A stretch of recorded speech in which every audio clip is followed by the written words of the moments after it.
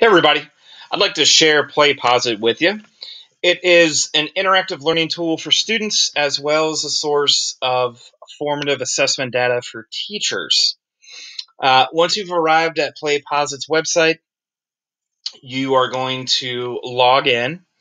And the nice thing about PlayPosit is it works with a lot of different learning management systems, including Google. So I'm going to log in with my Google account. The first screen that you're going to see once you log in is your dashboard. And this is where you are going to see all of the bulbs that you have either created or added to your library.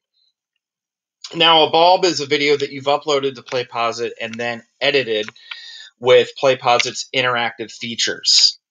So essentially, students watch a bulb and then are prompted at various points throughout the video to answer questions or respond um, to uh, different prompts. So to the left here in the blue navigation area, you can access your folders where you've organized content if you choose. You can access your classes, and then you can access a library of pre-made bulbs uh, from other users. So going to classes, uh, another thing I like about um, PlayPosit is the fact that it does integrate with Google Classroom. So you can upload and sync your classes. These classes were from a few years ago. You can upload those classes into PlayPosit. Um, but if you want to add a class, you can do that as well using this button here. Now, when I go into one of my classes, I can access the bulbs that I've assigned. I can access reports that are generated uh, by PlayPosit. Um, the gradebook is going to show which assignments have been completed, and then within those assignments, it's going to show you uh, individual student um, responses. Um, but as far as uh, providing um, item analysis type reports, um, it's not going to give you that. So that's one uh, drawback if you're looking um, to form um, uh, data uh, informed groups um, or make RTI type intervention decisions, you have to look a little deeper in the data um, besides the initial report.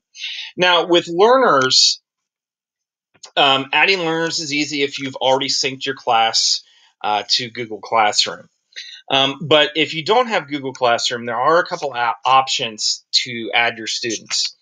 The first option is by providing them with a specific class URL and a class code. Um, that's by far the easiest of these two options. The other option is that you actually have to upload students' names to create unique username and passwords. Now, before I show you guys how to create your own bulb, um, I just want to show you this pre-made bulb section. Um, and again, this is created by PlayPosit users themselves. You can filter and search based on your subject area, uh, based on the age of your students, what level they're at. Um, and then you can also paste a YouTube URL to um, this search engine, and it'll actually pull up anything related to that YouTube. So if you see a video on YouTube that you think would be appropriate for your class, you could copy and paste the URL to here and see if anyone else has made a bulb um, about that YouTube. So you can either use that bulb yourself or use it as uh, inspiration for your own content. So going back to the My Bulbs tab here, uh, you'll see there's a button called Add New Bulb.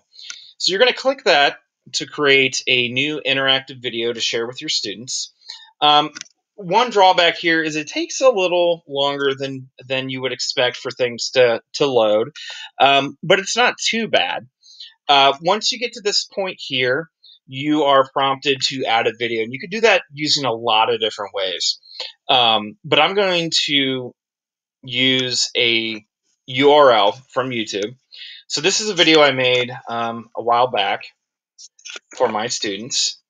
And once I add that URL, um, it's going to give me a preview page. This lets me know that everything has uploaded correctly. And now I'm adding the video segment to my bulb. Now, once I've added my video segment, I have a couple options. I can add a template. Um, a template is going to include very specific assessment interactive pieces that you can add to your video. And while that's a really neat option, um, you're going to get the most customization and personalization through this button here, the add an interaction. So what you can do is you can actually click play, and at any point in the video that you feel an interaction would be appropriate for students to complete, you click that button and you have some options. So I'm going to go ahead and do that. So the voice you're hearing is mine from a couple years ago. I'm going to show you how to properly uh, shade in an area model to represent fraction multiplication. So to the left, we see we have a fraction multiplication problem 3 fourths times 1 third. Another way of thinking about this is...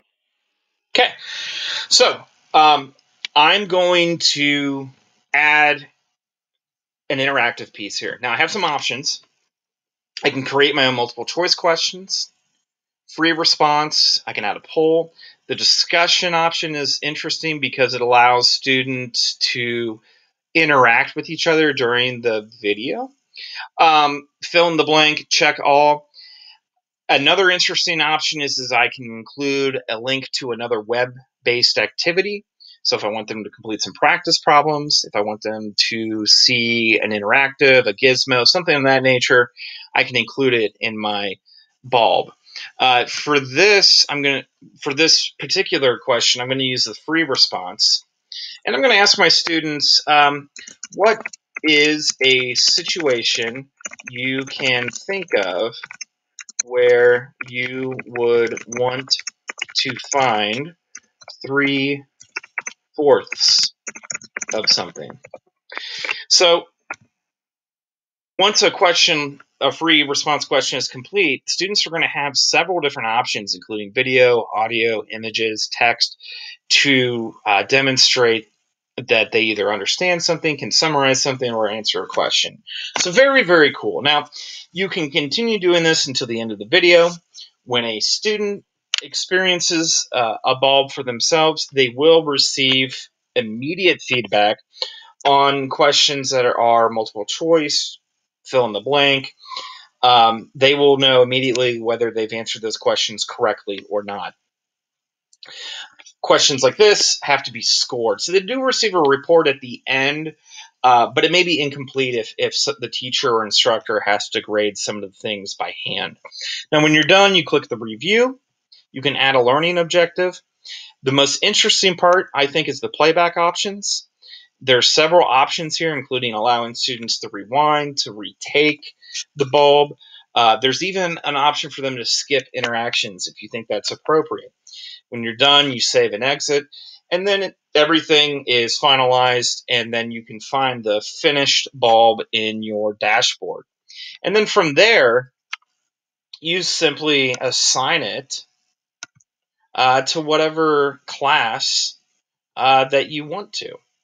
Um, so you can select a due date. Um, if you want to do that, you can leave it open. Um, there's a few options there. Now, everything I've shown you thus far is free. However, you can upgrade to a pro version that's $12 a month. There's a few more options. Uh, this broadcasting live coming soon, that seems pretty interesting. But I think you can can really use uh, PlayPosit um, just on the free version in your classroom and, and get some real value out of it. So I appreciate you guys watching. Please let me know if you have any questions at all. Um, I think this is something that I personally will use in the fall um, with my online students as well as my in-class students. Um, I think this would be a really interesting way to flip a classroom. Um, I think this would be interesting station work.